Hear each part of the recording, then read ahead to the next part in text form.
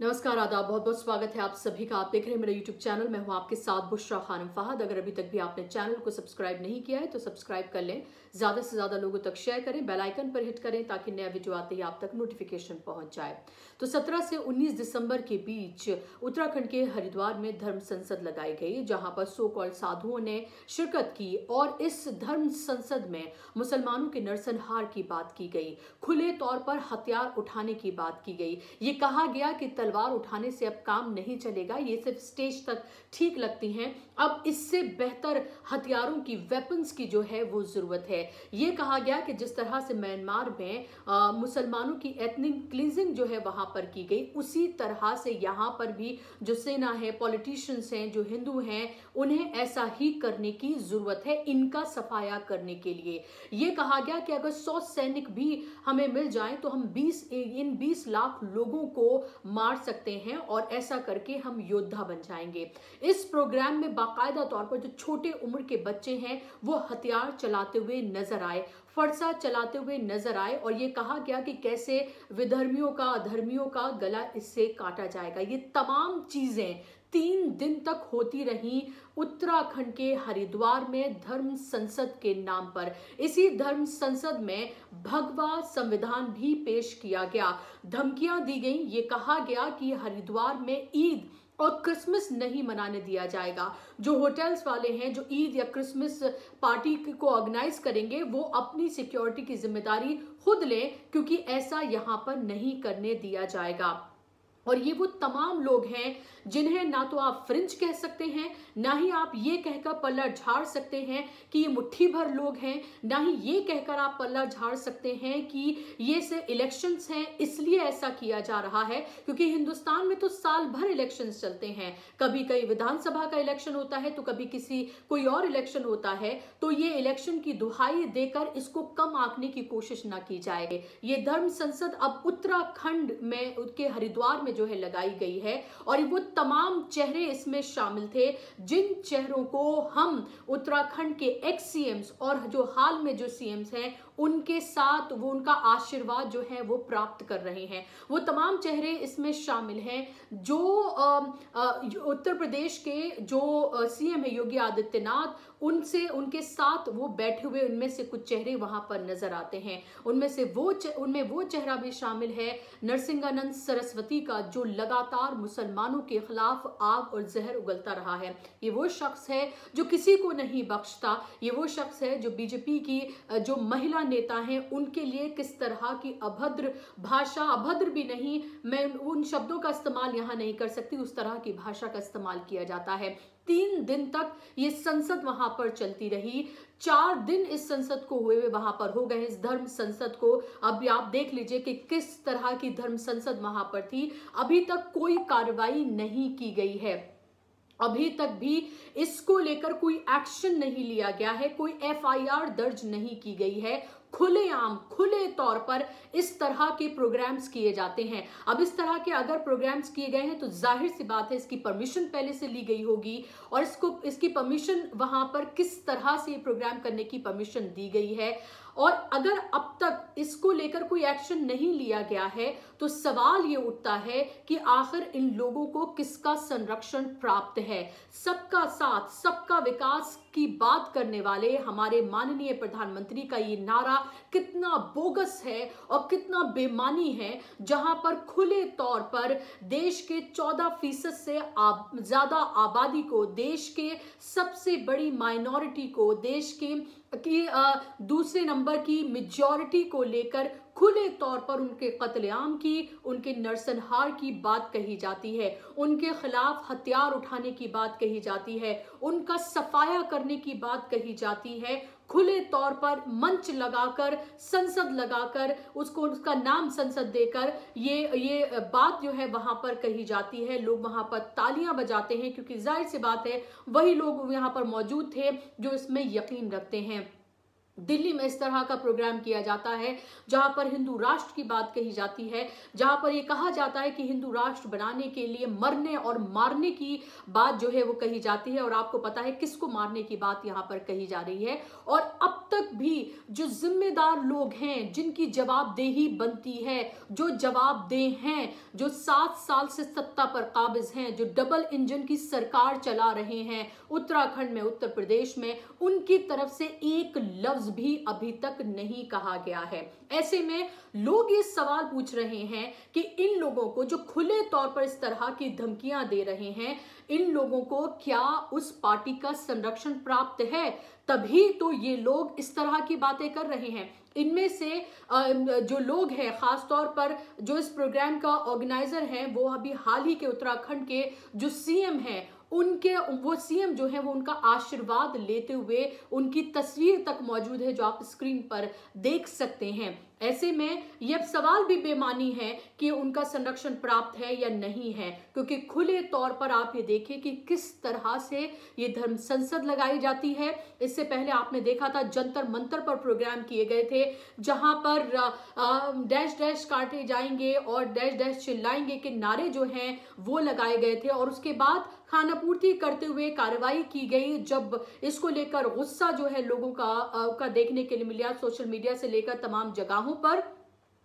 और उसके बाद आप ये देखें कि वही जो अश्विनी उपाध्याय हैं, वो कुछ दिन जेल में जाते हैं, उसके बाद छूट जाता है और इस प्रोग्राम में अश्विनी उपाध्याय भी मौजूद था, जहाँ पर वो भगवा जो है संस भगवा संविधान जो है, उसको पेश करता है वहाँ पर। यहाँ पर एक शख्स जो है, वो खुले तौर पर कहता है कि अगर मैं पार्लियामेंट में उस वक्त मौजूद होता, जब उस वक्त के प्रधानमंत्री मनमोहन सिंह ये कह रहे थे कि जो देश के संसाधन है, उसमें पहला हक जो है, वो माइनॉरिटीज का है तो मैं छः की छः गोलियाँ जो हैं, वो उनके सीने में उतार देता। तो इस तरह की भाषा का जो है, वो इस्तेमाल वहाँ पर किया जा रहा है। किस तरह से खुले तौर पर मनमोहन सिंह को मारने की धमकियाँ यहाँ पर दी गई कि उस वक्त वो मौजूद होते तो उन्हें मार दिया जाता। ये कहा जा रहा है कि म्यांमार की तरह जो है एथनिक क्लिनजिंग जो है मुसलमानों की आ, की जाए और ज़रूरत पड़े और ये कहा गया कि किस तरह से सोफेस्टिकेटेड जो वेपन्स हैं उनको उठाया जाए। ये कहा गया कि पाँच हज़ार रुपए का मोबाइल रखिए लेकिन एक लाख रुपए का आप वेपन रखिए ताकि कोई अगर आपके साथ कुछ करने की कोशिश करे तो आप उनको बिना मारे यानी बिना जान से मारे वो जा ना पाए। और आप ये देखिए कि ये सब कुछ कब किया जा रहा है? जब केंद्र में भी बीजेपी की सत्ता है और प्रदेश में भी बीजेपी ही काबिज है, ऐसे वक्त में ये सब कुछ किया जा रहा है। राहुल गांधी जो हिंदू और हिंदुइज्म और हिंदुत्व के बीच के का का फ़र्क बार बार बताने की बात कर रहे हैं। जब बार बार इस तरह की वो बातें करते हैं, मंच से भी कहते हैं, ट्वीट भी करते हैं आज वो पूरी तरीके से खामोश हैं। सवाल मैं उनसे ये पूछती हूँ कि आप ये बताइए कि आप तो एक सेकुलर पार्टी होने का दम भरते हैं। वो तमाम पार्टियाँ चाहे कांग्रेस हो, टीएमसी हो, समाजवादी पार्टी हो, बीएसपी हो, एनसीपी हो सीपीआई, सीपीएम हो, वो तमाम पार्टियाँ जो अपने आप को सेकुलर होने का दावा करती हैं सेकुलर होने का दम भरती हैं, उनसे सवाल पूछा जाना चाहिए कि वो आखिर कहाँ हैं? वो क्यों नहीं सड़कों पर हैं? वो क्यों नहीं उनको, वो उनके नेता जो है, एफआईआर जाके दर्ज कराते हैं? वो क्यों नहीं? इसको लेकर शोर शराबा हो, हल्ला करते हैं। यहाँ तक कि ट्वीट तक नहीं किए गए हैं। किस बात का डर है इन लोगों को? किस वोट बैंक की इन लोगों को परवाह है कि वोट लेने के लिए तो ये ये फ़ौरन जो है वो तैयार हो जाते हैं। लेकिन जब उसी, उन्हीं लोगों को लेकर इस तरह की बातें कही जाती हैं तो वो तमाम चेहरे क्यों खामोश हैं? वो तमाम पार्टियाँ क्यों खामोश है जिनके पास वो हक मौजूद है कि वो सवाल उठाएँ? विपक्ष का काम ही यही होता है, जब सत्ता खामोश हो जाती है तो विपक्ष को ही जनता की आवाज़ बनना पड़ता है और ऐसे वक्त में जब सबसे ज़्यादा ज़रूरत है तो ये तमाम पार्टियों के जो नेता हैं वो खामोश हैं।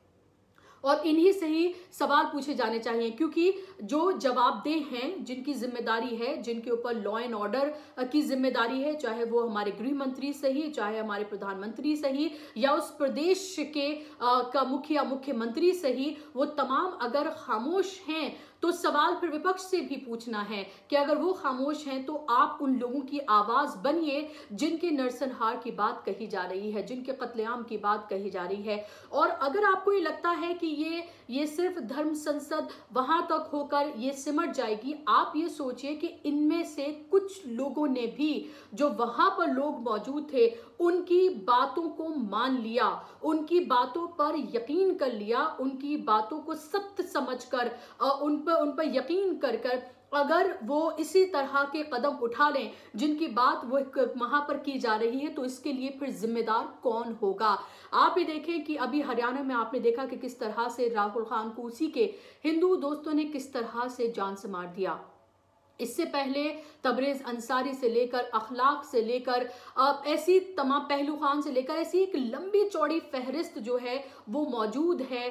किस तरह से भीड़ ने पीट पीट कर उनको मार दिया या फिर अदमरा कर दिया? और ये वही लोग हैं जो इस तरह के लोगों से इंस्पिरेशन लेते हैं और फिर उसका प्रैक्टिकल जो है, वो वहाँ पर करके दिखाते हैं, जो हमें फिर लगता है कि आखिर ये भीड़ कैसे पैदा हो जाती है ये भीड़ कहाँ से आ जाती है? वो भीड़ इसी तरह से तैयार की जाती है और इसी तरह से खुले तौर पर धर्म संसद जो है वो लगाई जा रही है और ये कोई पहला प्रोग्राम नहीं है। इससे पहले भी इसी तरह के प्रोग्राम जो हैं, वो किए गए हैं। उनको अलग अलग नामों से किया जाता है। देश की राजधानी दिल्ली में किया जाता है और उनके पर कोई कार्रवाई नहीं की जाती है। कोई यूएपीए नहीं लगाया जाता है। कोई सिटीजन के चार्जेस नहीं लगाए जाते हैं और यही वजह है कि ये लोग इसी तरह से खुले आम इस तरह की केस की धर्म संसद लगाते हैं और फिर उसके बाद हर धर्मी बेशर्मी से ये कहते हैं कि उन्होंने जो कहा वो उस पर कायम हैं।